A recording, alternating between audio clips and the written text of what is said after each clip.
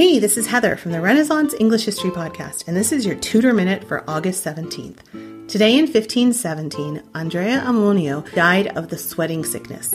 He was a leading humanist, scholar, Italian cleric, and he became Latin secretary to Henry VII, sent by the Pope. He was also good friends with Erasmus, and he spent the last part of his life in London. He died of the sweat, which is a relatively new illness, and it was very different than the plague. It's likely that Henry VII's mercenary soldiers brought it over with the invasion of 1485, and it would come back to haunt England every few years for nearly a century. It was different than the plague in that the person could actually feel quite well, then suddenly feel kind of not so good, then sweat profusely, and then die. The whole process could take only a few hours. It generally affected well off men rather than poor people, though no one was exempt. Even Anne Boleyn got sick from it, though she recovered. Interestingly, recovering didn't mean that you were immune, and there are stories of people getting it three or four times before eventually dying from it. Andrea Ammonio, scholar and humanist, died today of the sweat.